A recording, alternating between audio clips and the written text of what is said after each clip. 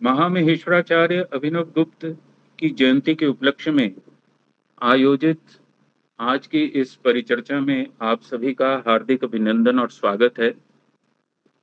आज की यह परिचर्चा department of Sanskrit Guru Nanak Dev university Amritsar की ओर से आयोजित है और इस परिचर्चा के जो कन्वीनर हैं, डॉक्टर विशाल भारद्वाज, संस्कृत विभाग गुरु नानक देव यूनिवर्सिटी अमृतसर से, वो हमारे साथ इस वक्त जुड़े हुए हैं। तो आज का जो विषय है, इस जयंती के उपलक्ष्य में, और जयंती के उपलक्ष्य में इसलिए ये विषय लिए गए हैं ताकि अभिनव गुप्त की जितनी अभिनवता है, उसके सभी आयामों को हम एक एक करके देखें, समझें।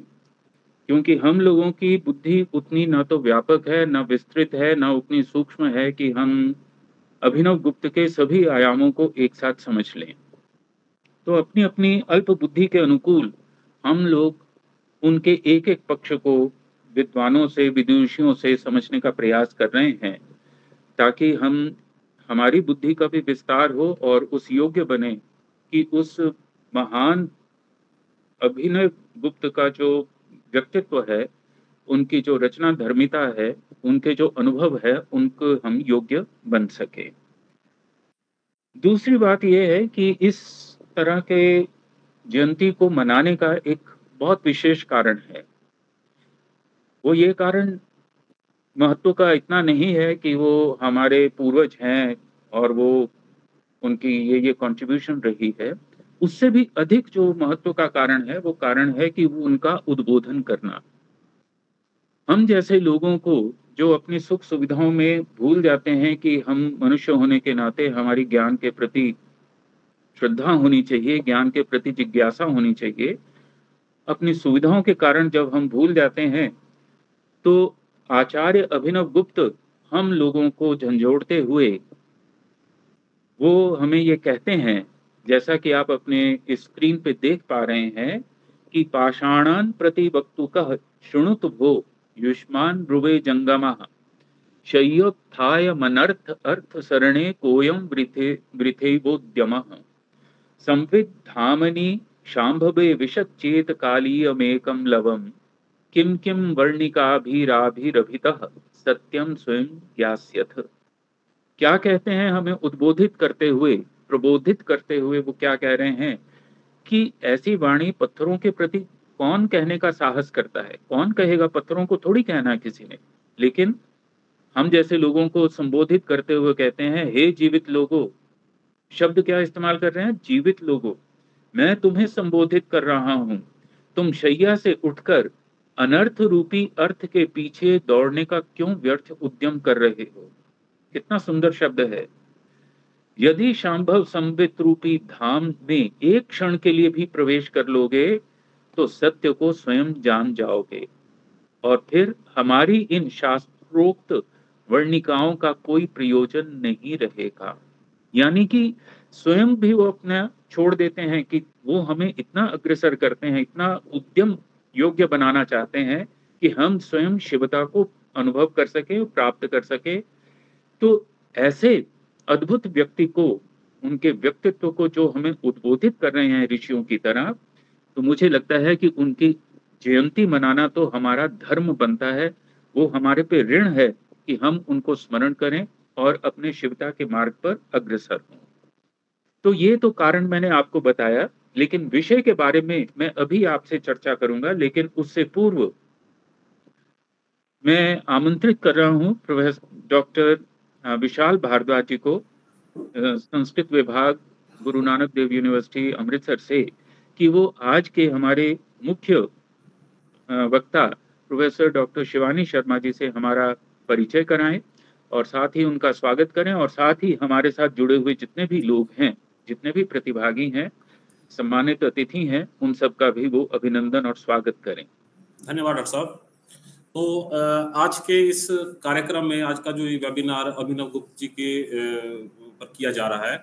इसमें आज के हमारे जो रिसोर्स पर्सन है डॉक्टर शिवानी शर्मा जी, ये पूर्व अध्यक्ष रही हैं department of philosophy Punjab university Chandigarh. और इस समय यह डायरेक्टर विवेकानंद स्टडी सेंटर जो पंजाब यूनिवर्सिटी चंडीगढ़ का है तो वहाँ पर ये कार्यरत हैं। तो इससे पहले भी मैडम, आपने हमारे साथ 2022 में इसी श्रृंखला में आपने एक सौंदर्य अनुभूति, दर्शन एवं आचार्य अभिनव गुप्त इस विषय पर अपने विचार प्रस्तुत किए थे। और आज पुनः हमारा ये सौभाग्य है कि भी शिव अद्वैत इस विषय को लेकर के शिव अद्वैत दर्शन एवं आचार्य अभिनव गुप्त दार्शनिक पुनर्वलोकन इस विषय को लेकर आज हमारे साथ आप हमारे साथ जुड़े हुए हैं। तो आशा है कि भी आपके इन वचनों को सुन करके आपके इस लेक्चर से हम सब बहुत अधिक लाभान्वित होंगे। और हमारे साथ और भी अन्य विश्वविद्यालयों से और अन्य संस्थाओं से जो लोग जुड़े हुए हैं, इनका भी मैं हार्दिक अभिनंदन अभिनंदन और स्वागत करता हूँ। और डॉक्टर साहब, आप इसका परिचय दीजिए तो इसे फिर मैडम से करवाते हैं शुरू डॉक्टर साहब, म्यूट है आपका? जी। धन्यवाद डॉक्टर। साहब बहुत बहुत आभार। आपका जैसा कि आप अपना विषय देख पा रहे हैं और मुझे लगता है कि विषय बड़ा रुचिकर है और बौद्धिक होने के साथ साथ ये हमारी परंपरा का हमारे पुरुषार्थ का लक्ष्य भी है। तो इस विषय को जितना हम जानते हैं एक बार उसको हम देख लें और फिर उसके बाद हम विद्वान वक्ता से निवेदन करेंगे कि वो हमारा इस विषय में मार्ग निर्देशन करें और दिशा निर्देश करें कि हम इस विषय को कैसे समझें। विषय आप लोगों के सामने स्क्रीन पर बड़ा स्पष्ट है कि शिवाद्वय दर्शन एवं आचार्य अभिनव गुप्त और दार्शनिक पुनरावलोकन। अब जब आप ये देखते हैं, मैं आपसे दो तीन बातें करना चाहता हूँ कि देखिए, सामान्य रूप से हम फिलॉसफी और दर्शन दोनों को एक करके मान लेते हैं। लेकिन जब आप दर्शन को दृष्टि के अर्थ में देखते हैं, देखना, जिसे आप कहते हैं तो देखना क्या है और देखना कैसे है? इस दृष्टि से जब आप अभिनव गुप्त की शरण में जाते हैं तो वो आपको कई आयामों से परिचित कराते हैं। और इसी के लिए हमने विद्वान वक्ता को आज आमंत्रित किया है कि वो हमें इस सारे आयामों से परिचित कराएँगे। दर्शन का मतलब देखना, हम भारतीयों के, हम फिलोसफाइज नहीं करते, हम दर्शन करते हैं, देखने जाते हैं, गुरु के दर्शन माता पिता के दर्शन, देवता के दर्शन, मंदिर में आप दर्शन करने जाते हैं। आप फिलोसफाइज नहीं करने जाते। तो इस दृष्टि से जब आप दर्शन है तो दर्शन के दो ही प्रश्न हैं कि देखना क्या है और कैसे देखना है। अब उस दर्शन में एक पक्ष तो आपके सामने है कि विचार पक्ष से आप इसको देख सकते हैं। कि इस विषय का शिवाद्वय कि जब आपने शिव कह दिया, फिर उसके साथ अद्वय लगाने की क्या ज़रूरत है? इतने से काम चल सकता है, लेकिन हमारी बौद्धिकता हमें संतुष्ट नहीं होने देती। तो इसलिए हम अभिनव गुप्त की वैचारिकता से जानना चाहते हैं कि शिवाद्वय शब्द से हमारा क्या अभिप्राय है। दूसरा शब्द जो सबसे ज़्यादा मुझे प्रभावित करता है दर्शन में, वो है सौंदर्य पक्ष। कि सौंदर्य, क्योंकि अद्वय में ये जो आप नीचे स्लाइड देख रहे हैं कि वट इज़ नॉन डुअलिज्म इसका एक पक्ष, उसका सौंदर्य पक्ष भी है। केवल विचार पक्ष ही नहीं, उसका एस्थेटिक्स भी है। क्योंकि अद्वैता में सुंदरता है। एक में कोई सुंदरता नहीं हो सकती, क्योंकि ना वहाँ देखने वाला होगा, ना वहाँ कोई जानने वाला होगा, ना समझने वाला होगा तो वो एक होकर के क्या करेगा? तो अद्वय में सौंदर्य पक्ष क्या होगा? जैसा कि आप यहाँ पे देख भी पा रहे हैं जो चित्र है हालाँकि ये बहुत प्रभावी चित्र नहीं है, लेकिन फिर भी आप देखें तो पूरे का पूरा सौंदर्य दर्शन यहाँ पर उभर कर आता है। तीसरा एक पक्ष दर्शन में और आता है, वो है भाव पक्ष। कि हम भक्ति पूर्वक उन सब चीज़ों को देखते हैं और भक्ति के माध्यम से ही हम अद्वैता का अनुभव करते हैं, चाहे वो वैष्णव है, चाहे शाक्त हैं, चाहे शैव हैं, या अन्य सब दर्शन है, संप्रदाय है। एक चौथा पक्ष और है। ये भी दर्शन का पक्ष है। यहाँ पे नॉन ड्यूलिज्म को आप देखें तो आप देखेंगे कि जैसे हमारे संबंधों में हम अद्वै अद्वैता का व्यवहार करते हैं। जैसे पिता पुत्र के साथ एक अद्वैता का अनुभव करते हैं। पुत्र को कष्ट होता है तो पिता में वो बेचैनी, माँ जो है कष्ट में है तो बेटी को बेचैनी। तो एक अद्वैता का वो भी पक्ष है। तो क्या अभिनव गुप्त इस विषय में भी हमारा कोई मार्ग निर्देशन करते हैं कि नहीं करते? ये तो दर्शन की दृष्टि से मैंने आप लोगों से बात की, जिसको मैं फिलॉसफी से थोड़ा सा अलग करके रखना चाहता हूँ और समय आने पर फिलॉसफी वर्सेस दर्शन शब्द के ऊपर भी हम एक चर्चा रखेंगे निकट भविष्य में।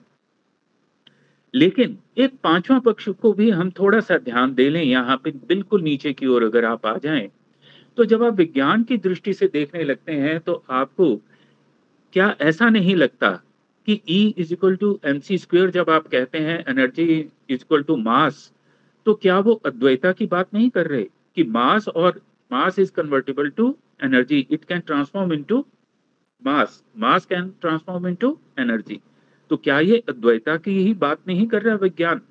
और दूसरी तरफ़ जब आप क्वांटम फिजिक्स की बात भी करने लगते हैं तो जहाँ पे पार्टिकल जो है वो कभी वेव की तरह व्यवहार करता है और कभी वेव जो है वो पार्टिकल की तरह व्यवहार करने लगती है तो क्या इसको हम अद्वय नहीं कहेंगे कि एक ही?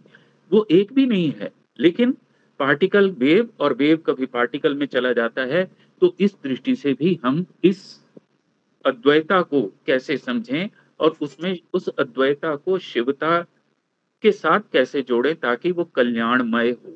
वो हमारे लिए उपकार करने वाली हो, मंगलमय हो हमारे तो इन सब बातों को समझने के लिए हमारे पास जिनकी हम शरण में आज आए हैं, वो हैं योगी, तांत्रिक, दार्शनिक, भक्त, साहित्य शास्त्री, संगीतज्ञ, कवि, वेदज्ञ, सिद्ध साधक, और भी जितने आपके पास शब्द हैं, सारे गुण धर्म आप आचार्य अभिनव गुप्त में लगा सकते हैं।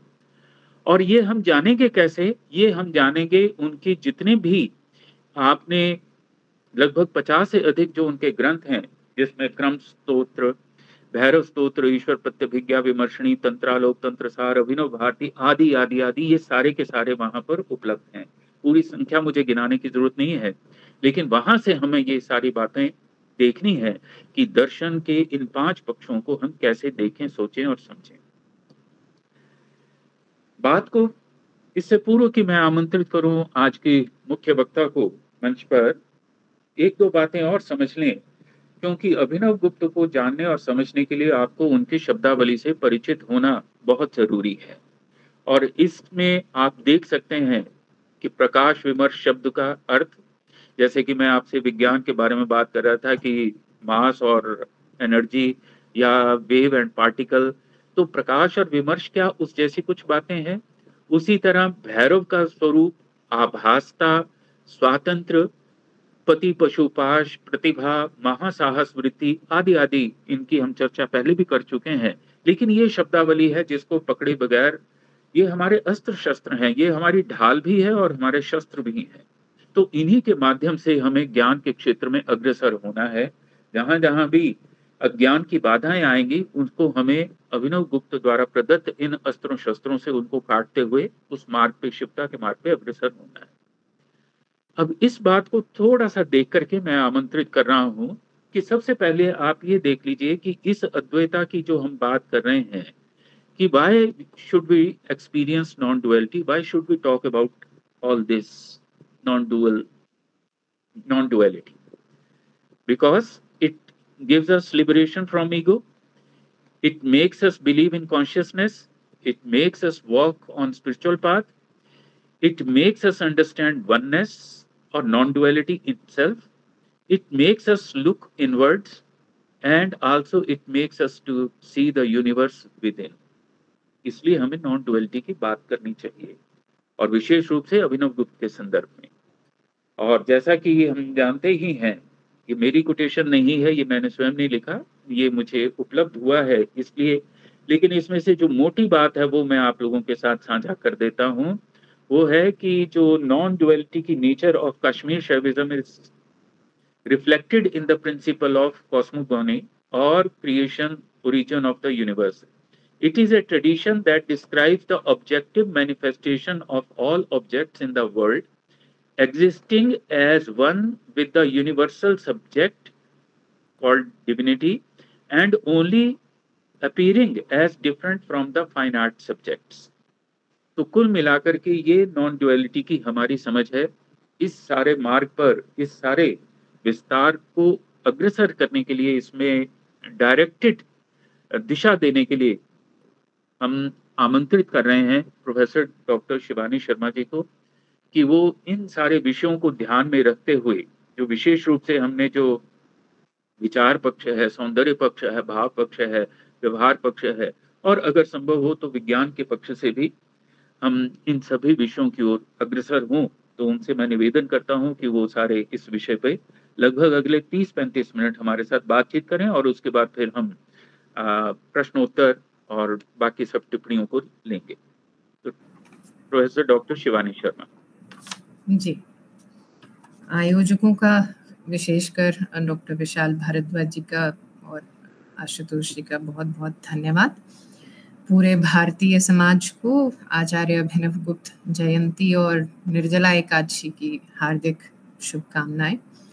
और अपने गुरुवृंद अग्रजों को प्रणाम करते हुए और इस मंच पर बोलने के लिए जिन ग्रंथों को पढ़ा, उन ग्रंथों के लेखकों को प्रणाम करते हुए अपनी बात को बढ़ाऊँगी, स्पेशली महामहोपाध्याय गोपीनाथ जी और कांति चंद्र पांडे। ये दो, इनके काम को पढ़े बिना मुझे लगता है कि कश्मीर शैविज्म या कश्मीर शैव परंपरा के बारे में बात करना बड़ा ही अपने आप अपने आप में एक अनजस्ट एक्ट माना जाना चाहिए। तो उनको भी प्रणाम करते हुए मैं अपनी बात को रखती हूँ। तो मेरा ये मानना है, क्योंकि दर्शन परंपरा की एक छात्रा होने के नाते से मुझे लगता है कि ये एक हमारे स्वभाव में है कि हम दर्शन या दार्शनिक समस्या को या किसी दार्शनिक या दृष्टा को अगर समझना है, किसी की दृष्टि को समझना है तो क्या क्या पद्धतियाँ हमारे सामने उपलब्ध होती हैं, ये पहला प्रश्न है। तो मुझे ऐसा लगता है कि दो मुख्य रूप से दो पद्धतियाँ उभर कर आती हैं और भी हो सकते हैं दृष्टियाँ उसको देखने की। पर दो में से एक तो ये है कि हम उस दृष्टा के, उस जिसने अन्वेषण किया है, उसकी, उसके सिद्धांतों पर चर्चा करें। और अभिनव गुप्त का जब संदर्भ आता है तो उनके बहुत से ऐसे सिद्धांत हमारे सामने उभर कर कर आएँगे, जैसे प्रतिविश्रांति, प्रतिभा, प्रत्यभिज्ञा सामरस्य, समावेश सहृदय, ये कुछ ऐसे सिद्धांत हैं जिनके संदर्भ में और भी, जैसे कि यहाँ पर बहुत दिखाई दिए, अभी आपको दिखाए गए। तो ऐसे बहुत से सिद्धांत हैं जिनको हम कहीं ना कहीं, जैसे मलत्रय, स्वातंत्र, आभास, ये सब सिद्धांत हैं जिनको समझते हुए हम आचार्य अभिनव गुप्त की कंट्रीब्यूशन पे बात कर सकते हैं, चर्चा कर सकते हैं। दूसरी दृष्टि से ये भी हो सकता है कि हम उनकी कृतियों को उठा लें, लेकिन मुझे ऐसा लगता है कि कोई भी टेक्स्ट जो है, वो बिना गुरु के शायद अर्थ उस तरह से ना दे सके। जिस तरह से उस, जिस तरह से हम उसको अप्रोच करें उसके लिए एक गुरु की सहायता बहुत आवश्यक है। तो मुझे लगता है कि ये दो पैरामीटर्स हैं। लेकिन इसके अलावा एक और जो इजी मैं कहूँगी कि एक थोड़ा सा सुगम उपाय है वो ये है कि हम उसकी तत्व मीमांसा और उसकी ज्ञान मीमांसा को पकड़ लें शुरू में तो उसकी तत्व मीमांसा को समझने का अर्थ केवल इतना है कि उसमें तत्व मीमांसा में जो कहा जा रहा है जो प्रतिपादित किया जा रहा है उसकी पूर्व मान्यताएँ हमें उसकी ज्ञान मीमांसा में उपलब्ध होने लगेंगी।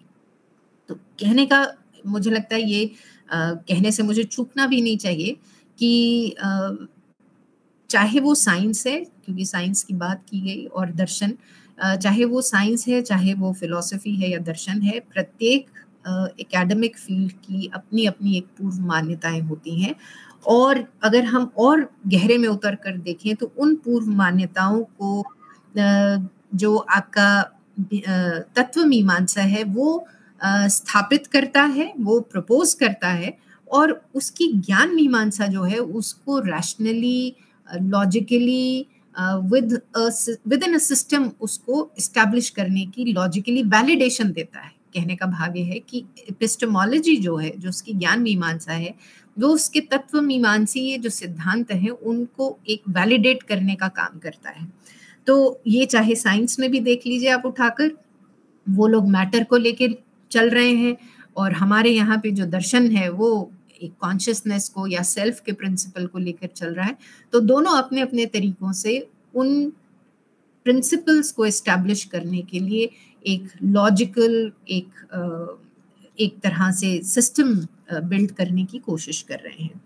कुछ ऐसे नियम जिसके तहत कोई एक ऐसा ब्लू ब्लू चार्ट बनाने की कोशिश कर रहे हैं, जिसमें उसको इस्टेब्लिश किया जा सके। तो इसलिए ज्ञान क्षेत्र कोई भी हो, प्रमाण जो है ज्ञान मीमांसा जो है वो प्रमेय और प्रमाता के संबंध को समझाने का पूरा एक तरह से मुझे लगता है कि पैराफर्नेलिया है उसका। उसका मेन एरिया जो है प्रमाण विद्या का वो यही है कि प्रमेय और प्रमाता को समझने का प्रयास में हमारे लिए सहायक होते हैं। आ, लेकिन अब समस्या यहाँ उत्पन्न होती है कि जो मेटाफिजिक्स है या जो तत्व मीमांसा है उसका जो ध्येय है या जो उसका लक्ष्य है या जो उसके जो ऑब्जेक्टिव्स हैं वो प्रत्यक्षगत नहीं होते हैं। और जो चीज़ प्रत्यक्षगत नहीं है उसको समझना और भी कठिन हो जाता है क्योंकि प्रत्यक्ष दृष्टि से तो आप उसको आ, वो ज़्यादा विषय नहीं बनता आपका आ, चर्चा का। लेकिन ऐसी चीज़ जो आपको प्रत्यक्षगत नहीं है लेकिन फिर भी उसके बारे में आपको कहा जा रहा है समझाया जा रहा है वो मुझे लगता है डिबेटेबल हो जाती है। तो ऐसे में मुझे लगता है कि कहीं ना कहीं आ, हमारे जो प्रमाण विद्या है जो ज्ञान मीमांसा जिसकी मैं बात कर रही हूँ वो कहीं ना कहीं फेल होने लगते हैं। कहीं ना कहीं उनमें एक, एक सीमित उसमें उसकी वैलिडेशन की एक सीमा बन जाती है और बुद्धि तर्क कहीं ना कहीं विफल होने लगते हैं। तो ऐसे में मुझे लगता है कि जो शब्द शब्द के माध्यम से जो ज्ञान हमें उपलब्ध होता है या शब्द प्रमाण के माध्यम से जो ज्ञान है, वो बहुत महत्वपूर्ण हो जाता है, उसका महात्म्य कहीं ना, बहुत ज़्यादा बढ़ जाता है। और ऐसे संदर्भ में जो कृतियाँ हैं, जो दार्शनिक है, उसने जो कहा है, जो अपने ग्रंथों के माध्यम से कहा है वो बहुत महत्वपूर्ण हो जाता है, क्योंकि वही एक सोर्स है हम जहाँ से उनके सिद्धांतों को समझ सकते हैं। तो इसी चीज़ को और भी अगर हम देखें कि मान लीजिए कि ये भी प्रश्न उठ सकता है कि फिर अगर हमें शब्द के माध्यम से ही चलना है तो फिर वो श्रवण, मनन, निधि, ध्यासन की जो हमने इतनी शिक्षा दे रखी है, उसका क्या होगा? उसको हम फिर क्या एकदम एक विश्वास और श्रद्धा का ही विषय मान लेंगे? तो मनन जो है उसमें जो विचारशीलता है, वो फिर कहाँ जाएगी? तो मुझे लगता है कि ऐसा नहीं है। फिलॉसफी और जैसा कि पहले भी बात की गई तो श्रवण मनन निधि ध्यासन की बकायदा भारतीय परंपरा में या दार्शनिक परंपरा में स्पेशली और ये बिल्कुल ठीक आपकी एजाम्शन है कि फिलॉसफी और दर्शन में कहीं ना कहीं अंतर है। और फिलॉसफी एक रैशनल इस्टेब्लिशमेंट ऑफ़ आइडियाज़ है, जबकि दर्शन जो है वो अनुभूति विषयक है, अनुभव के ऊपर आधारित है और वो जो अनुभव है वो बहुत सीधा सीधा आपके कहीं ना कहीं सेल्फ सेल्फ से जुड़ा है, सेल्फ कल्चर से जुड़ा है, सेल्फ ट्रांसफॉर्मेशन से जुड़ा है, सेल्फ रियलाइजेशन से जुड़ा है, जो बहुत ही ग्राउंड रियलिटी पे एक तरह से सेल्फ एनकाउंटर जिसको हम कह सकते हैं, उसके ऊपर आधारित है। और मुझे लगता है कि यही अनुभूत विषय जो होते हैं, इनको प्रत्येक दर्शन अपनी अपनी तरह से कहीं ना कहीं चाहे वो ग्रीक दर्शन है या कोई भी कोई भी दर्शन है, वो अपनी तरह से उसको समझाएगा ही समझाएगा। लेकिन ऐसा नहीं है कि ये केवल भारत में ही उपलब्ध है। हेनरी बर्गसा का एक बहुत सुंदर कोट है जिसमें वो ये समझाने की कोशिश करते हैं कि उस, वहाँ पे भी ये समस्या है कि बहुत से ऐसे दर्शन के विषय हैं जिसको आप प्रत्यक्ष रूप में नहीं समझ सकते हैं। उसको एनालिसिस के माध्यम से नहीं समझा जा सकता। तो उसको वो शब्द जो शब्दावली यूज़ करते हैं वो है कोर और पेरेफरी की। तो जब तक वो कहते हैं कि हम पेरेफरी पे घूम रहे होते हैं किसी विषय को लेके, किसी सिद्धांत को लेके तो वो पेरेफरी में जो है, सब रिलेटिव अंडरस्टैंडिंग उपलब्ध होगी एनालिसिस उपलब्ध होगा, सब कुछ रिलेटिव ही रहेगा वहाँ पर और वहाँ पे केवल पर्सपेक्टिव्स क्रिएट होंगे। तो वो पर्सपेक्टिव क्रिएट करना मुझे लगता है कि फिलॉसफी का विषय है, लेकिन दर्शन का विषय जो है, वो कोर में उतरना है। ऐसा हेनरी हेनरी बर्गसा कह रहे हैं कि कोर में उतरना जो है, जो मतलब विषय के साथ अपने आप, अपना तादाद में स्थापित करना है और यही आगे चल के अभिनव गुप्त में देखेंगे तो सहृदयता का सिद्धांत बनता है कि जब तक आपने अपने आप को अलाउ नहीं किया, सहृदय बनने के लिए अलाउ नहीं किया, अपने आप को आपने उतरने का सबमर्ज करने का आपने अलाउ नहीं किया अपने को तो शायद दर्शन वहाँ पर अभी पूरी तरह से अपना सफलता को प्राप्त नहीं हो पाया है। तो ये जो है, मुझे लगता है कि पर्सपेक्टिव्स रिलेटिविटी और एक कोर की जो दुविधा है, ये हमेशा बनी रहेगी और उत्तर केवल जो पर्सपेक्टिव्स वाला या जो पेरिफरी वाला जो परिप्रेक्ष्य है, वो केवल प्रश्नों को उत्पन्न करेगा और कोर वाला जो एरिया है, कोर वाला जो विषय है, वो हमें अलाउ करेगा कि हम उत्तर को शायद खोज ना पाए, लेकिन उत्तर को महसूस ज़रूर कर सकेंगे। तो मुझे लगता है कि आचार्य अभिनव गुप्त भी उन्हीं तथ्यों की बात कर रहे हैं, उन्हीं प्रिंसिपल्स उन्हीं डॉक्ट्रिन्स को स्टैब्लिश करने की बात कर रहे हैं, जो उन्होंने अनुभूत की है। ऐसा नहीं है कि सिर्फ़ आचार्य परंपरा में केवल आचार्य अभिनव गुप्त आ रहे हैं, उधर शंकर भी आ रहे हैं, रामानुज भी आ रहे हैं, सभी आ रहे हैं लेकिन उन्होंने अपनी अपनी बात को किस तरह से समझा और उसको कैसे कैसे प्रतिपादित किया ये उनका अपना विशेष अधिकार रहा है। तो उस चीज़ के संदर्भ में आ, मुझे लगता है कि जब हम अद्वैयवाद की बात करेंगे और स्पेशली शैवाद्वै शैवाद्वै के बारे में हम बात करेंगे तो उसमें मुझे लगता है कि सीधा सीधा प्रभाव जो है हमारे इस विचार से शुरू होता है कि there is a difference between reality and appearance and we all understand that appearance is not reality कोई कोई ना कोई क्राइटेरिया है जिसके आधार पर हम ये uh, सिद्ध भी करते हैं। मानना तो चलो एक केवल विश्वास की बात नहीं है। हम उसको सिद्ध करते हैं कि अपियरेंस जो है वो रियल नहीं है। तो वो रियलिटी की जो परिभाषा है वो अधिकतर हमें सत्यम ज्ञानम अनंतम इसी रूप में उपलब्ध होती आ रही है।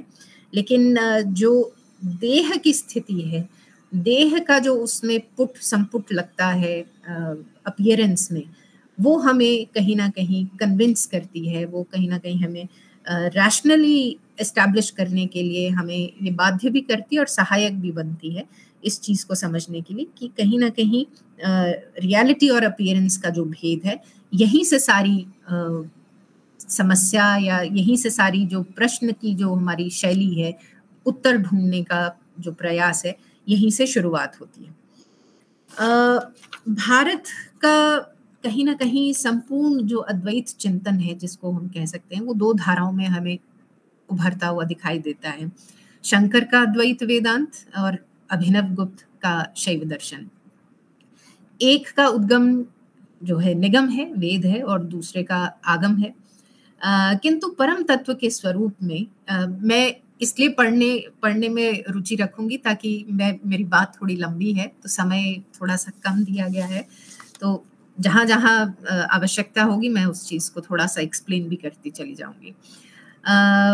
एक का उद्गम निगम वेद से हुआ है और दूसरे का आगम से माना जाता है। किंतु परम तत्व के स्वरूप को लेकर और उसके साक्षात्कार को लेकर दोनों अपनी अपनी शैली और शब्दावली प्रयोग करते हैं और एक उसके माध्यम से एक ही तत्व का उपदेश करते दिखाई देते हैं। जो दक्षिणामूर्ति स्तोत्र है, उसको देखिए विश्वम दर्पण दृश्यमान नगरी, है ना? निजांतर तुल्यम निजांतरगतम पश्चिन्नात्मनि मायया बहिर्वोद्भूतम यथा निद्रया। यह साक्षात कुरुते प्रबोध समये स्वात्मानमेवाद्वयम तस्मै श्री गुरुमूर्तये नम इदम श्री दक्षिणामूर्तये स्वप्नावस्था में हम ये जानते हैं कि न स्वप्न रियल है और जो उनका जो भेद हमें एपरेंट भेद जो जिसको डिफरेंस हम कहते हैं कि एक है स्वप्न स्वप्न लेने वाला और जो स्वप्न है उसमें अभिन्नता है लेकिन फिर भी हम उनको दो मानते हैं। और जब वो जागृत अवस्था को उत्पन्न हो जा प्राप्त हो जाता है तो वो स्वप्न की अवस्था भी बिल्कुल अनरियल uh, कंसिडर हो जाती है।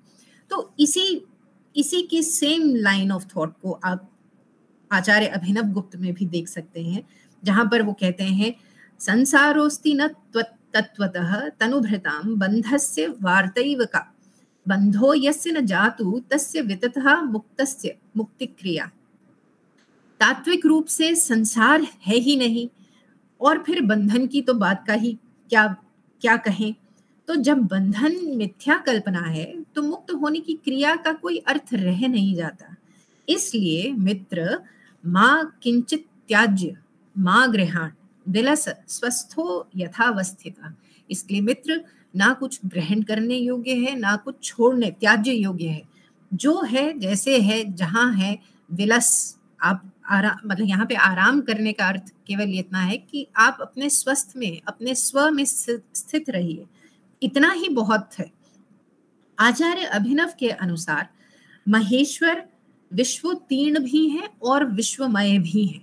मतलब महेश्वर ही है जो अल्टीमेट प्रिंसिपल है शिवाद्वयवाद का, जहाँ पे वो ये स्थापित कर रहे हैं कि महेश्वर जो है वो विश्व भी है और विश्व से परे भी है। और व्यवहारिक विश्व तीन होते हुए भी व्यवहारिक और पारमार्थिक में कोई संघर्ष नहीं दिखाई देता इस दर्शन में। परमार्थे तु नैकत्व पृथक्वाद भिन्न लक्षणम पृथक्त्वैकत्व रूपेण तत्वमेकम प्रकाशते।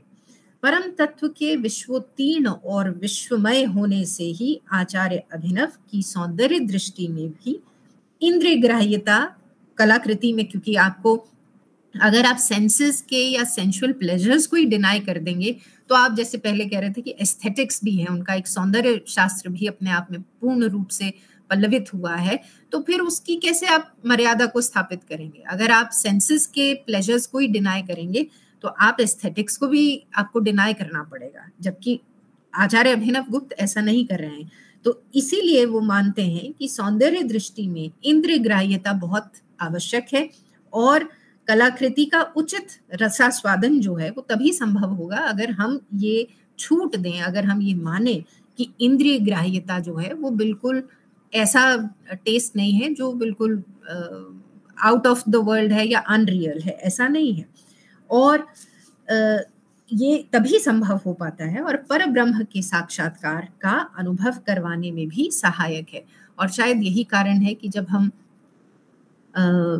विश्वानाथ पंचानन को हम साहित्य दर्पण में देखते हैं तो जब वो इस चीज़ को प्रतिपादित कर रहे हैं सत्वोद्रेकाद खंडस्व प्रकाशानंद चिन्मय तो वहाँ पे भी कहीं ना कहीं वेद्यांतर स्पर्श शून्य ब्रह्मा स्वाद सहोदर तो वहाँ पे ब्रह्म ब्रह्म का अनुभव और रसास्वादन का जो अनुभव है वो कहीं ना कहीं इन्हीं ग्राउंड्स के ऊपर सिमिलर है क्योंकि उसमें अपने से अतीत होना परातीत होना जो है अपने को छोड़ते हुए किसी ऐसे अनुभव का आ, हम रसास्वादन लेते हैं जिसकी वजह से हमें यह अनुभूत होता है कि एक ट्रांसेंडेंटल रियलिटी या ट्रांसेंडेंटल सेल्फ की एक सत्ता जो है उसमें विश्वास हमारा कहीं ना कहीं बनता है।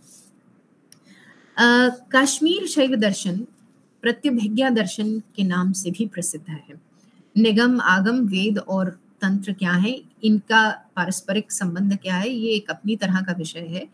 आ, लेकिन इतना कहना आ, मुझे लगता है आवश्यक है कि भारत की सनातन और साधना परंपरा के जो बीज हैं, वो इन दोनों में बराबर हमें उपलब्ध दिखाई देते हैं।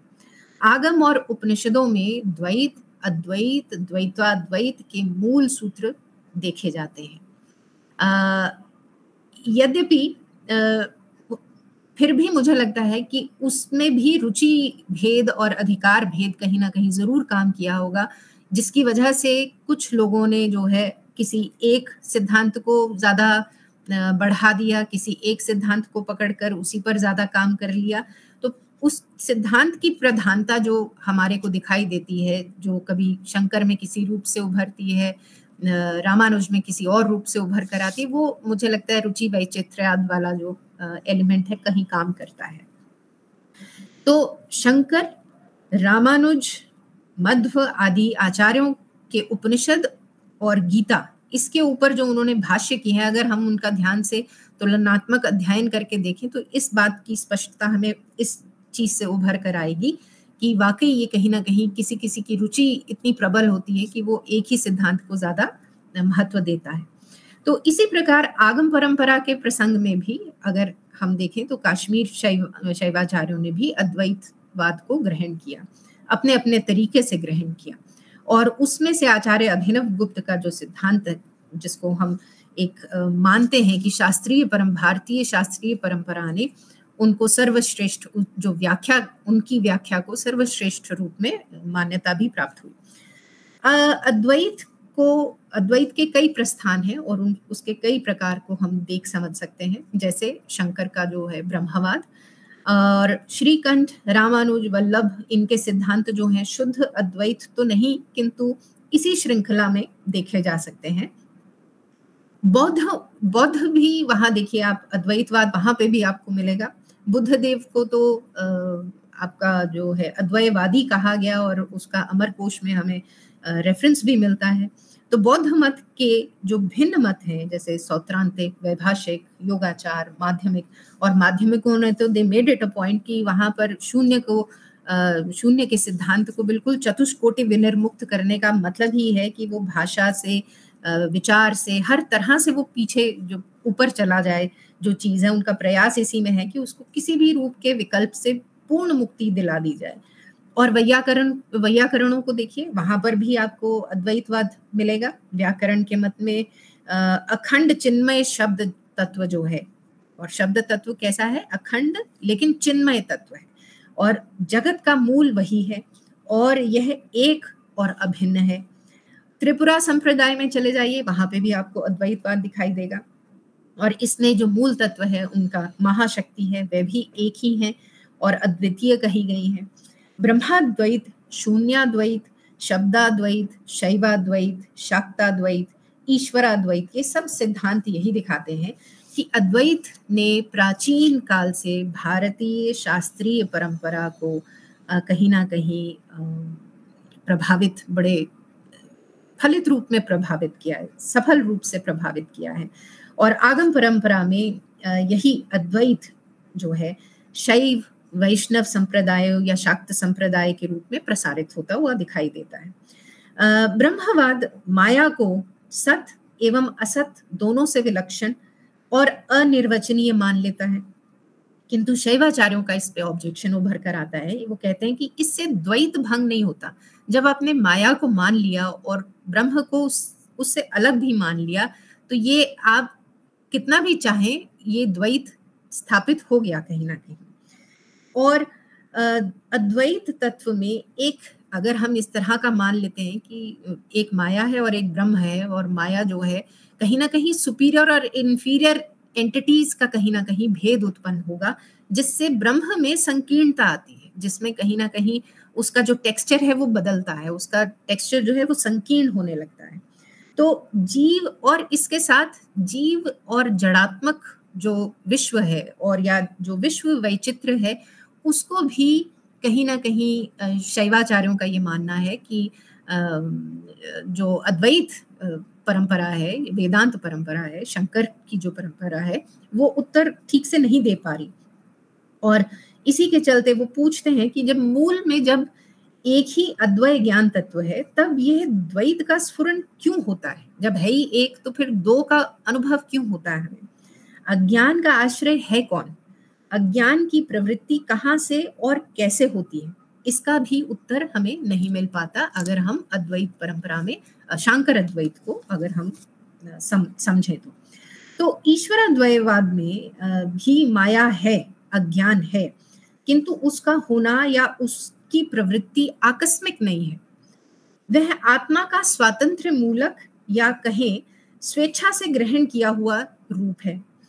नट जिस प्रकार जानबूझकर अभिनय करता है, परमेश्वर भी उसी प्रकार इच्छा मात्र से नाना प्रकार की भूमिका ग्रहण कर लेता है।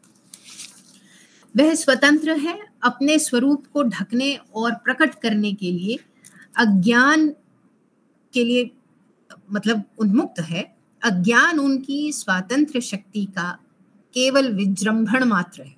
मतलब अज्ञान को वो एक उबासी के साथ समझाने का प्रयास कर रहे हैं। और विश्व वैचित्र भी इसी प्रकार अपने स्वरूप का ही विमर्श है। ब्रह्मवादी, शुद्ध, साक्षी चैतन्य को मानते हैं और ईश्वरवादी परम तत्व का स्वातंत्र मूलक और कर्तृत्व स्वरूप मानते हैं। शांकर वेदांत में आत्मा विश्वोत्तीर्ण, सच्चिदानंद, एक सत्य, निर्मल, निरहंकार, अनादि, आनंद, शांत नित्य मुक्त भावा, भावाभावहीन है, किंतु उसमें कर्तृत्व नहीं है। केवल एक कर्तृत्व का एलिमेंट जो शैवाचार्यों ने डाला है, या आचार्य अभिनव गुप्त ने विशेषकर जो एक कर्तृत्व का एलिमेंट है, वो ही सारी एक्सप्लेनेशन में भिन्नता का कारण है।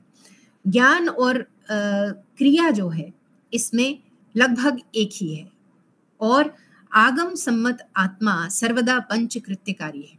सृष्टि, स्थिति संहार अनु, ये अनुग्रह करना और विलय, ये उसके पंचकृत्य हैं, ईश्वर के ये पंचकृत्य हैं, जबकि ये कृत्य जो है, ये आपको शांकर वेदांत में, क्योंकि कर्तृत्व नहीं माना गया तो फिर ये कृत्य कैसे उसमें लागू होंगे? तो शांकर मत में ब्रह्म का ये स्वभाव नहीं है, इसलिए ब्रह्मवाद में आत्मा का स्वस्फुरण वैसा ना होने के कारण भी वह सत्य होते हुए भी असत सा प्रतीत होता है। आगम मत में अद्वैत शब्द का अर्थ दो का नित्य समरसता है। शंकर ब्र, शंकर ब्रह्म शंकर ब्रह्म को सत्य माया को अनिर्वचनीय कहते हैं। ब्रह्म को सत्य और माया को अनिर्वचनीय कह देते हैं और माया को सत्य नहीं मानते। और इससे उनका अद्वैत एक्सक्लूसिव हो जाता है एक्सक्लूडिंग हो जाता है, कहीं ना कहीं एलिमिनेशन करते हैं वो चीज़ों की। रिनाउंसिएशन बेस्ड उनका जो अद्वैत है वो रिनाउंसिएशन बेस्ड हो जाता है, जबकि आचार्य अभिनव गुप्त का जो है, एक तरह से all embracing embracing all inclusive उनका अद्वैत माना जाता है। अद्वैत शैव दर्शन की जो कुछ विशेषताएँ हैं, उसको हम समझने का प्रयास करेंगे। प्रत्यभिज्ञा साहित्य से शैव संप्रदाय की सूचना हमें मिलती है। और सिद्धांत और आचार दोनों में ही जातिगत प्रतिबंध नहीं मिलता। और इसका रेफरेंस भी हमें मिलता है, जात्याद्यपेक्षा काचित ईश्वर प्रत्यय विमर्शनी। ज्ञान और मुक्ति की जिसको भी लालसा है, जिसकी भी इच्छा है, वह शैव संप्रदाय का पालन और अध्ययन करने के लिए मुक्त है। और कल भी शायद कुछ दीक्षा की बात हो रही थी तो उसके बारे में भी यहाँ पर इसकी स्थापना करते हैं कि दीक्षा बिल्कुल दी जा सकती है। किंतु शैव धर्म का पालन करना और शैव धर्म की जटिलताओं का शास्त्रीय अध्ययन करना इसमें अंतर है। अनुयायी होना, होने के लिए दृढ़ निश्चय केवल दृढ़ निश्चय होना इतना ही काफ़ी है। लेकिन अध्ययन करने के लिए वेद, वेदांग, षड दर्शन, व्याकरण, तर्क आदि सब इन ज्ञान का एक इनकी सबकी आवश्यकता निर्धारित की जाती है। तभी वह प्रत्यभिज्ञा दर्शन की सूक्ष्मताओं को समझ सकता है। सामान्यतया भारतीय दर्शनों के सभी संप्रदायों का उद्देश्य साधक को आत्म साक्षात्कार करने में सहायता करना और उस लक्ष्य प्राप्ति का उपाय बताने में है। सभी मतों के अनुसार अज्ञान बंध है या बंध का कारण है और ज्ञान मोक्ष का कारण है और शैव दर्शन में बंध का कारण मल बताया गया है। आणव मल कार्म मल माई मल आणव मल जो है वो सहजात मल है और संपूर्णता की हानि करता है कि हम अपने आप अपने सेल्फ को संपूर्ण रूप से जब जान नहीं पाते समझ नहीं पाते तो उसका कार, कारण जो है वो आणव मल कहा गया है। और इसी के फलस्वरूप हम अपने यथार्थ को विस्मृत कर जाते हैं और ये यही विस्मृति को वापस लाने का जो प्रयास है, प्रत्यभिज्ञा दर्शन का पूरा पूरा ध्येय है। और यही ये माना गया है कि चाहे ये आणव मल जो है अनादि हैं, लेकिन उच्छेद्य हैं। ये ऐसा नहीं है कि ये हमेशा रहेंगे। और कार्ममल भी एक अनियत इच्छा रूप है। आणव मल इसका स्रोत है माया जनित वस्तुओं के साथ आत्मा के अनगिनत संसर्ग उत्पन्न करता है। और माई मल जो है ये मन और शारीरिक सीमाओं को आ, को रिफ्लेक्ट करता है। आणव और कार्म मल मन में आ, मल मन और शरीर के सामर्थ्य को सीमित करते हैं। प्रमाता को सीमित करने वाले जो तत्व हैं वो है आपके कला विद्या राग नियति। मतलब ये एक बहुत रिपोर्टिव एक तरह से बहुत रिपोर्टिव फिलॉसफी होने लगती है एक समय के बाद। पर मुझे ऐसा लगता है कि वही बात है कि अगर हम उद्बोधन नहीं करेंगे, अगर हम इसको सुनेंगे नहीं, अगर हम इसको समझेंगे नहीं तो इसकी गाइडलाइंस को फॉलो करना भी उतना ही कठिन होता चला जाता है। तो अज्ञान का अर्थ, ज्ञान का अभाव नहीं माना गया, बल्कि उसमें एक सीमित होना जो है, उस ज्ञान का जो सीमित ज्ञान जो है, वो समस्या है। और ज्ञान ही चिदात्मा और विश्व के प्रति भ्रांत धारणाएँ उत्पन्न करता है। शैवा दर्शन के अनुसार आत्म साक्षात्कार के साथ ही ऐसा ज्ञान उत्पन्न होता है, जिसमें विश्व की नई व्याख्या और समझ विद्यमान होती है। इसलिए यह दर्शन, आत्मदर्शन को प्रत्यभिज्ञा, स्वयं को पहचानने से जोड़ता है। प्रत्यभिज्ञा की विलक्षणता न तो मात्र प्रत्यक्ष में है और न मात्र स्मृति में। है अपितु दोनों के एकत्व में है। प्रत्यभिज्ञा को उदाहरण के माध्यम से भी समझा जा सकता है, नल और दमयंती के संदर्भ में, जहाँ वे अपने पिता के दरबार में दमयंती जो है, वो नल के केवल गुणों को सुन रही है और उसने ही उसका परिणाम क्या है कि उसके गुणों को सुनकर वो एक मानस बिंब तैयार कर लेती है। तो अतः इस मानस बिंब और वर्तमान प्रत्यक्ष उसने कोई पूर्व प्रत्यक्ष नहीं किया है नल का, लेकिन मानस बिंब और वर्तमान प्रत्यक्ष जो है, उसके यथार्थ विषय के अभेद का अनुभव, प्रत्यभिज्ञा का मुख्य तत्व है। इसी प्रकार यद्यपि जीवात्मा, परमात्मा अभिन्न है, तथापि उस भेद को जाने बिना, उस अभेद के आनंद का अनुभव नहीं कर सकते। हम इस विषय में, हमें इस विषय में अभिज्ञ बनाना ही प्रतिभिज्ञा दर्शन का उद्देश्य है। और साधक के लिए कुछ आवश्यक गुणों का निर्देश निर्देश भी हमें मिलता है। किसी प्रमाणिक गुरु के द्वारा ही दीक्षा का विधान भी मिलता है।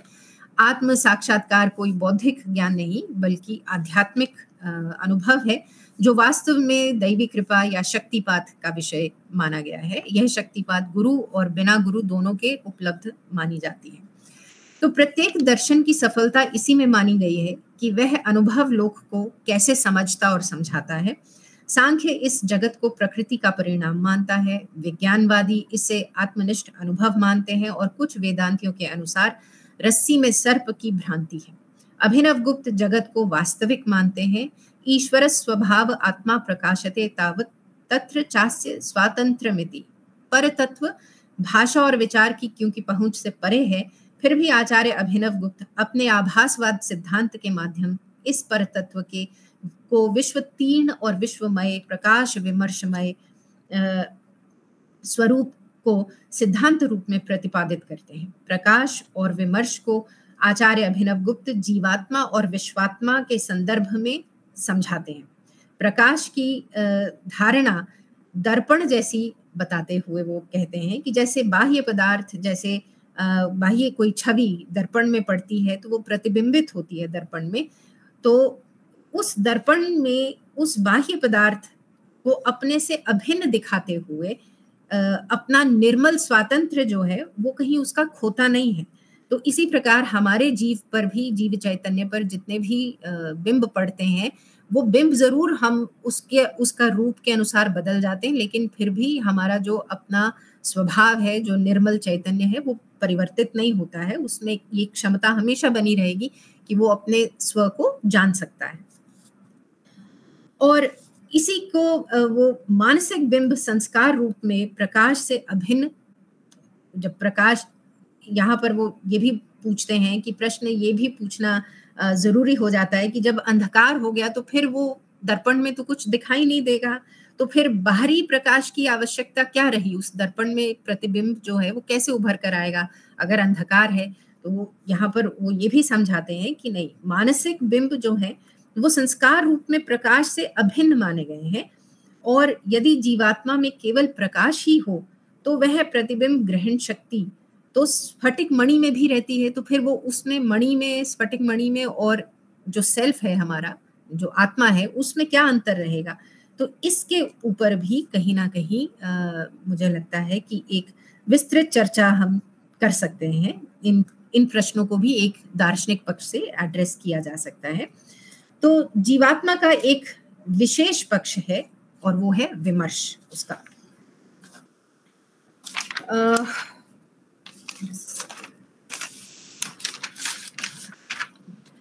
और उसको जड़ पदार्थों से अलग करता है वो है विमर्श जिसका अर्थ है कि सभी प्रकार के प्रभावों से पूर्ण मुक्ति की स्थिति में अपने शुद्ध स्वरूप को जानने का सामर्थ्य पोटेंशियल जिसे हम बोलते हैं, जैसे एरिस्टोटल भी बात करता है एक्चुअलिटी और पोटेंशियलिटी तो यहाँ पे भी ये देखिए पोटेंशियलिटी का कॉन्सेप्ट जो है, सामर्थ्य, ये विमर्श के रूप में उभर कर आता है। आंतरिक एवं बाह्य कारणों से उत्पन्न हुए प्रभावों का, स्थितियों का विश्लेषण करने में जो सामर्थ्य है मनुष्य का, वह है विमर्श। इन प्रभावों का संस्कारों के रूप में जो संचय, संचित संस्कारों से इच्छा अनुसार किसी भी दशा का स्मृति के माध्यम से उसको उत्पन्न कर लेना ये जीवात्मा का प्रकाश विमर्शमय होने का अर्थ है। और अर्थ है कि स्वतः प्रकाशित हम जो मनुष्य है, उसका जीव जो है, वो स्वतः प्रकाशित है। संस्कारों को अपने भीतर धारण किए हुए रहता है, प्रतिबिंब ग्रहण करता है। अपने और दूसरों को जानने का यह एक विशेष प्रकार का सामर्थ्य कहा जा सकता है। विश्वात्मा के संदर्भ में प्रकाश और विमर्श को अगर हम समझें तो सा स्वात्म भित्तऊ की जिस तरह की जो कल्पना है कि विश्व चित्र उन्मीलयती, वह विश्वात्मा अपने को आधार बनाकर अपने ही भीतर से विश्व को प्रकट करता है। जैसे मकड़ी का एक जाला की कल्पना हम कर सकते हैं। अभिव्यक्ति एक व्यवस्थित क्रिया है और उसके लिए अपने भीतर के विद्यमान संग्रह से ही चयन करना होता है। अभिव्यक्ति की क्रिया में ज्ञान, इच्छा, चेतना, आनंद पूर्व निश्चित होती है। इसलिए विश्वात्मा के संदर्भ में विमर्श अभिव्यक्ति की वह शक्ति है, जो चैतन्य आनंद इच्छा ज्ञान क्रिया को उत्पन्न करती है। अभिव्यक्ति का आधार प्रकाश और अभिव्यक्ति की शक्ति को विमर्श कहा गया है। इसलिए शैव दर्शन व्यक्त जगत की उत्पत्ति परम शिव द्वारा ठीक उसी प्रकार मानी जाती है, जैसे व्यक्ति का मन स्वप्न एवं कल्पना उत्पन्न करता है। शिव से लेकर पृथ्वी पर्यंत जो कुछ भी सत्तावान है, वह परम तत्व में उसी तरह स्थित है जैसे आत्मा की शुद्ध अवस्था में हमारे सभी प्रत्यय हमारे भीतर ही मौजूद रहते हैं। अब दर्शन शास्त्र की दृष्टि से महत्वपूर्ण प्रश्न यह उठता है कि यदि परम सत्ता सभी गोचर वस्तुओं में अवभाषित होती है तो इसे परिवर्तन युक्त मानना होगा। इसको नित्य सत्ता कैसे मानेंगे? अगर उसमें परिवर्तन हो रहा है क्योंकि सभी आभास उसी में है और आभासों में परिवर्तन है तो इसका मतलब कि कहीं ना कहीं परम सत्ता में भी परिवर्तन है। और दूसरा प्रश्न ये भी है कि सारे आभास परम सत्ता के भीतर ही स्थित हैं तो इसे एक कैसे कहा जा सकता है? जब मल्टीपल उसमें आभास उपलब्ध हैं तो फिर वो रियलिटी भी मल्टीपल कहनी हमें मानना चाहिए। तो चार प्रकार के परिवर्तनों को समझाते हुए आचार्य अभिनव गुप्त इसका उत्तर देते हैं। और वो कहते हैं, आगम, अपाय, परिणाम और विकार. ये चार तरह के परिणाम हमें चेंजेस जो है हमें उपलब्ध होते हैं, परिवर्तन दिखते हैं कि किसी चीज़ में मूल पदार्थ में कुछ जुड़ जाने से आगम हो गया, किसी चीज़ में से, उसी चीज़ में से कुछ निकल गया या क्षत हो गया, उसकी हानि हो गई तो वो अपाय हो गया, परिवर्तन हो गया उसमें से, जैसे दूध में से ही आपने दही बना दिया। लेकिन अब इन तीनों परिवर्तनों में आप वापस अपने जो मूल चीज़ है, उस पर लौट नहीं सकते, मूल तत्व को प्राप्त नहीं कर सकते। केवल एक जो है आपका विकल्प जो आपका जो विकार है, केवल उसमें आप मूल तत्व से आगे बढ़ सकते हैं और मूल तत्व से वापस उसी पर लौट सकते हैं। जैसे सोना, सोने से कड़ा बना लिया, सोने का इयर बना लिए और उससे आपने वापस भी आप लौट सकते हैं। तो इस तरह का जो आभास जो हमें उपलब्ध दिखाई देता है महेश्वर के जो भीतर हमारे आ, हम जिसकी बात कर रहे हैं आ, ये विकार जो है विका, विकार जैसा महेश्वर में जो आभास है वो विकार के रूप में आ, उपलब्ध होता है हमें। और एक और जो आ, हमें एग्ज़ाम्पल मिलती है आचार्य अभिनव गुप्त जो बहुत प्रयोग करते हैं वो है सागर और समंदर और लहरों का जो प्रयोग है। उसको भी बहुत रेफर करते हुए वो बात करते हैं। तो इसलिए परम तत्व में परिवर्तन यदि हम मानना ही चाहें तो मात्र प्रतीति के रूप में मान सकते हैं। और दूसरे प्रश्न के संदर्भ में यह उत्तर दिया जाता है कि केवल वही सत कहलाएगा या कहलाया जा सकता है, जिसका अस्तित्व हो, और वो भी स्वतंत्र अस्तित्व हो। अस्तित्व का मतलब स्वतंत्र अस्तित्व हो। आभास, अनित्य प्रतीतियाँ हैं, इसलिए वास्तविक सत्ता अनुत्तर की ही मानी जाएगी। तो महेश्वर अपने आप को शक्तियों के माध्यम से अभिव्यक्त करते हैं और उसमें सबसे महत्वपूर्ण दो शक्तियाँ हैं, कर्तृत्व शक्ति और ज्ञातृत्व शक्ति। और शैव दर्शन शक्ति और शक्तिमान में अभेद मानता है और कही गई दोनों शक्तियाँ, दो नहीं, अपितु एक ही शक्ति के दो पहलू के रूप में बताई गई हैं, जिसे विमर्श शक्ति या स्वातंत्र शक्ति कहा गया है। और यदि विश्वात्मा को सागर मान ले, क्योंकि बार बार वो इसी का उदाहरण देते हैं तो अगर हम विश्वात्मा को सागर मान ले, और विश्वात्मा का मतलब है यूनिवर्सल कॉन्शियसनेस यहाँ पे कोई ऐसा शब्द नहीं है जो गॉड को रिप्रेजेंट कर रहा है it is referring to universal consciousness तो विश्वात्मा की स्वातंत्र शक्ति वह पहलू है जो आभासों की आंतरिक पृथकता की अभिव्यक्ति करता है। मतलब अब कितने सारे आभास हैं उस यूनिवर्सल कॉन्शियसनेस में। तो वो सभी एक तो है नहीं अलग अलग आभास हैं तो अलग अलग आभासों की आइडेंटिटी भी है, उनमें कुछ डिफरेंस भी है। तो वो डिफरेंस को जो पकड़ने का काम कर रहा है, वो उसकी स्वातंत्र शक्ति से पता चलता है, कर्तृत्व शक्ति जिसको वो कह रहे हैं। और ज्ञातृत्व शक्ति, विश्व चैतन्य की वह शक्ति, उस शक्ति का पहलू है जिसके द्वारा यह अपने भीतर विलीन असीमित पदार्थ राशि में से केवल कुछ ही वस्तुओं को पृथक रूप से अभिव्यक्त करने के लिए निकालते हैं और उसके लिए स्वरूपात, उन्मग्ना भास्यति इस स्थिति में प्रमाता भी मात्र वस्तु की ही तरह उपलब्ध होता है। मात्र वो भी एक वो अभिव्यक्ति किस तरह से बन जाती है जो प्रमाता है, वो भी एक वस्तु मात्र ही बन जाता है। तो इसलिए ज्ञान का घटित होना विश्व चैतन्य के सागर में दो तरंगों के उदय होने जैसा है, जिसमें एक में निर्मलता होने के कारण उसमें ग्राह्यता रहती है वो, और दूसरा जो है वो जड़ता की तरंग है, और एक जो है उसमें कहीं ना कहीं निर्मलता के होने की वजह से उसमें एक चेतनता की या चेतना की वो एक जड़ाभास और मतलब जो हमने शुरू में प्रश्न किया था कि जड़ तत्व और चेतन तत्व को हम कैसे एड्रेस करेंगे, जो कि हमें शांकर वेदांत में उपलब्ध नहीं दिखाई दे रहा तो वो कर्तृत्व भाव और ज्ञातृत्व भाव के माध्यम से आचार्य शंकर जो है, उसको स्पष्ट करते हैं। तो मुझे लगता है कि अद्वैत सिद्धांत या शैवाद्वय का जो सिद्धांत हमें उपलब्ध होता है वो प्रत्यभिज्ञा दर्शन के माध्यम से कहीं ना कहीं, आभासवाद के माध्यम से कहीं ना कहीं, कर्तृत्व, ज्ञातृत्व शक्ति के माध्यम से स्वातंत्रवाद के माध्यम से हमें यही बताने का प्रयास कर रहा है, यही समझाने का प्रयास कर रहा है कि वैचित्र जो हम, हमें जो आभास के रूप में उपलब्ध होता है या जो दिखाई देता है, वो मात्र एक आनंद से या आनंद के माध्यम से उत्पन्न की गई हुई क्रिया है और जो मुझे लगता है कि फिलोसॉफिकली बहुत साउंड एक तरह का आर्ग्यूमेंट हमें देती है, जिसके माध्यम से हम ये प्रस्थापित कर सकते हैं कि शैवाद्वयवाद जो है वो कहीं ना कहीं एक स्टेप शांकर द्वैत शांकर के अद्वैत सिद्धांत के से थोड़ा प्रबल है। थोड़ा मैं ये इसको मुझे कहना ही पड़ेगा कि कहीं ना कहीं उसकी जो एक्सप्लेनेशन है ऑल इंक्लूसिव और और एक्सक्लूसिव के आधार के ऊपर हम इस चीज़ को प्रस्थापित कर सकते हैं। आपका बहुत बहुत धन्यवाद। आपका समय मुझे लगता है कहीं थोड़ा ज़्यादा ही लिया होगा। धन्यवाद। धन्यवाद डॉक्टर शिवानी शर्मा जी।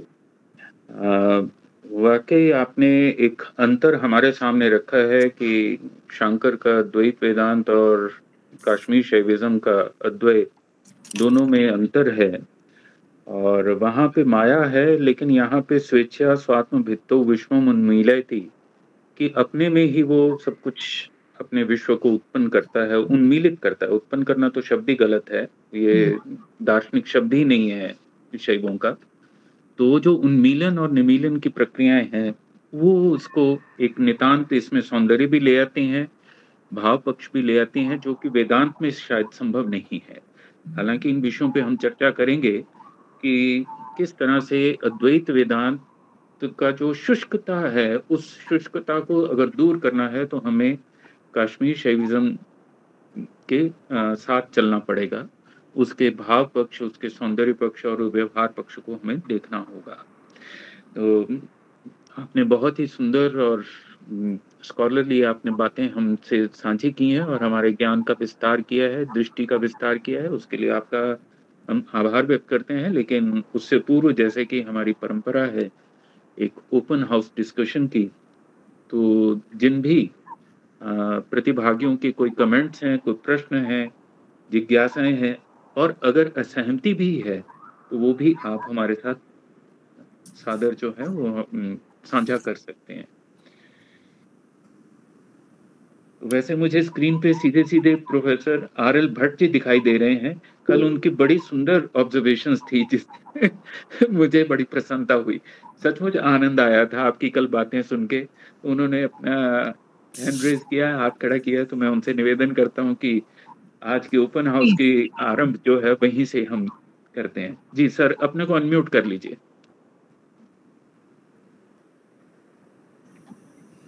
नमस्कार। नमस्कार नमस्कार।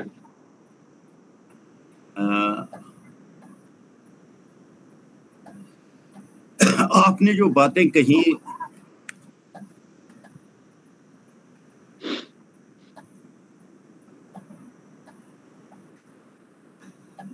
मेरा ये हेडफोन ऑटोमेटिकली बंद कर देता है उसमें शोर समझता है कुछ ये। मेरी आवाज़ आ रही है आपके पास? आ रही है आ रही है सर हाँ।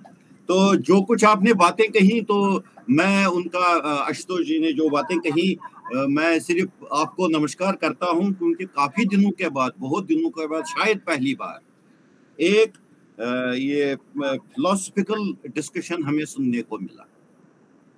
जैसे आपने कहा कि ये जो सारी बातें हैं, हम हमेशा एक श्रद्धालु की तरह ये बातें चलाते हैं। वो तो ठीक है, पालन करा, जैसे किया आपने नमस्कार कर लिया, वो ठीक है। लेकिन जब हम समझने का प्रयास करते हैं तो हमें बहुत विस्तार से आगे पीछे जाने की बहुत ज़रूरत है। आपने बहुत अच्छी व्याख्या की। इसमें कुछ नहीं, सिर्फ़ मेरी अपनी कुछ दुविधाएँ हैं। मैं उनके बारे में आपसे पूछना चाहूँगा। एक चीज़ मैं आपसे रिक्वेस्ट करूँगा कि जो आपने एक मन वो कोट किया कि सच में संसार है ही नहीं न ग्रहण करने के योग्य है न त्यागने के योग्य है उसका रेफरेंस किसी तरह से अगर आप हमें दे सकें या वो मंत्र दे सकें जी जी थैंकफुल टू यू एक जो सही बात है कि जो शंकर का वेदांत है उसमें हमें ये कहीं ना कहीं से वो भूसी आती है, माया के को सामने लाकर द्वैतवाद की भूसी आती है। ये बात ठीक है। लेकिन एक और चीज़ है, जैसे आपने यही कहा कि संसार सच में है ही नहीं। जब हम स्वातंत्र की बात करते हैं तो हमारा प्रयास नंबर एक उसकी क्या, उसकी तो मेरे हिसाब से उसका कोई वो मतलब ही नहीं रह जाता है। एक चीज़ दूसरे, फिर परम शिव भगवान जो भी हम कहें, परम तत्व, वो अपने से लीला करना चाहता है स्व इच्छा वो अवरुद्ध हो रहा है।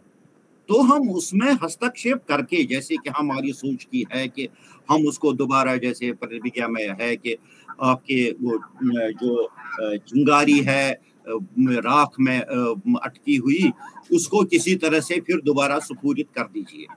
तो ज़रूरत क्या है? अगर वो स्वतंत्र से अवरुद्ध हुआ है तो हम उसमें हस्तक्षेप क्यों करते हैं? मुझे जो समझ आता है कि जो शंकर के वेदांत में माया का तत्व है, वो हमें ये चीज़ की एक रास्ता खोल देता है कुछ न कुछ करने का कि हमने अविद्या से बाहर जाना है, विद्या में जाना है, समझना है।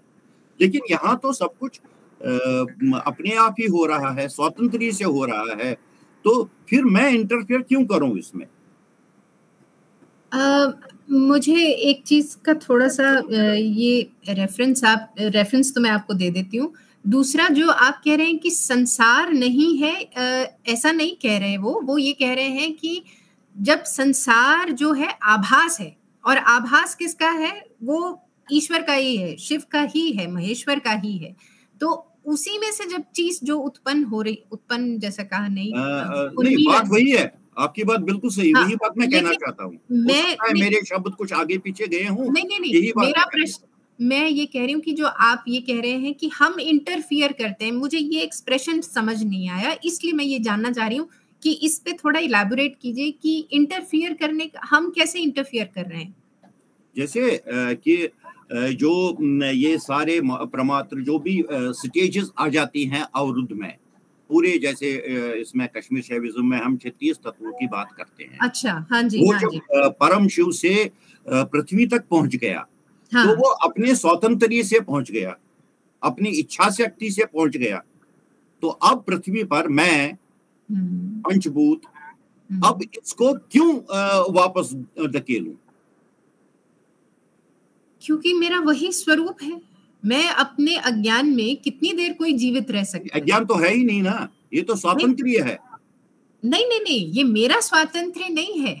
ये तो उसका महेश्वर का हाँ। स्वातंत्र्य है। हाँ। व्यक्ति का स्वातंत्र्य तो केवल देखिए व्यक्ति का स्वातंत्र एस्थेटिक्स में उभर कर आएगा कि जब मैं कवि बनती हूँ जब मैं कुछ रचना करती हूँ तो मैं उस भाव को जो महेश्वर का स्वातंत्र है कर्तृत्व है उसको मैं अपने कवि होने में अनुभूत कर सकती हूँ। लेकिन ये मेरा स्वातंत्र्य नहीं है कि मैं अपने ही अज्ञान में बंधी रहूँ। जो मेरे कार्म मल है माई मल है जो मेरे आणविक मल है इनको मैं इन इनको मैं मल मान रही हूँ इनको मैं वैल्यू तो नहीं मान रही हूँ। इनसे उभरना मेरा स्वभाव है। मैं बात तो फिर वही आ गई ना। अगर हम जैसे जैसे मान लीजिए कि जिसको हम बोलते इट इज़ सोक्रेटिस का एक स्टेटमेंट याद आ रहा है मुझे, जो वो बोलते हैं it is better to be a dissatisfied man than to be a satisfied pig जो अब, जो सुअर है, अगर वो कीचड़ में बैठ के खुश हो रहा है तो समस्या ये है कि हम वो नहीं है। हम एक डिससेटिस्फैक्शन है अपने को जानने का, अपने स्व को जानने का, जिसको मैंने कहा, शुरू में ही कहा, कि self culture self realisation self transformation ये वैल्यूज़ तो स्वाभाविक वैल्यूज़ हैं। आप रियलिटी और अपियरेंस के भेद को जिस दिन आपने एड्रेस कर लिया कि ये अपियरेंस जो मैं मैं मैं दिख रहा हूँ, ये मैं नहीं हूँ। पहली चीज़ तो यही हमारे को एस्टेब्लिश करनी पड़ेगी कि ये जीवन के कौन सी अवस्था में ये प्रश्न हम या ये इनकाउंटर हमारा होता है कि रियलिटी जो है वो अपियरेंस से थोड़ी भिन्न है।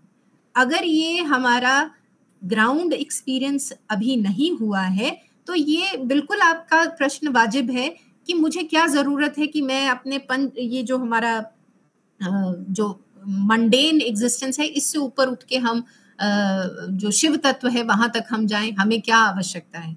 ये बिल्कुल आवश्यकता नहीं है, मैं तो ऐसा मानती हूँ। लेकिन अगर आपका इनकाउंटर हो चुका है रियलिटी और अपियरेंस का और आप ये मान चुके हैं कि जो अपीयरेंस है वो रियलिटी नहीं है। मैं कुछ और हूँ। इस देह से अतिरिक्त हूँ। अगर ये भावना ने अभी हमें ग्रसित नहीं किया है तो ये प्रश्न आपका बिल्कुल वाजिब है कि मुझे कोई ज़रूरत नहीं है। मेरा जब तक खाना पीना मेरी सुविधाएँ सुख सुविधा मेरा चल रहा है तो बढ़िया है। और बहुत सी मनुष्य जाति तो जीती बहुत सी मुझे लगता है नब्बे परसेंट दुनिया इसी में ही जीती है।